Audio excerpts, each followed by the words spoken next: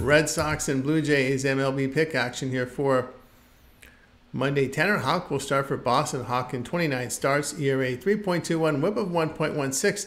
The righty fans 21%, 6.5% walks. His ground balls come in at 56%, 0.57 home runs per nine innings.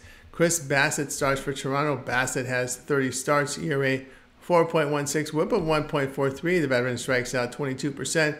8.5% walks. His ground balls are 40%, 0.97 home runs per nine innings.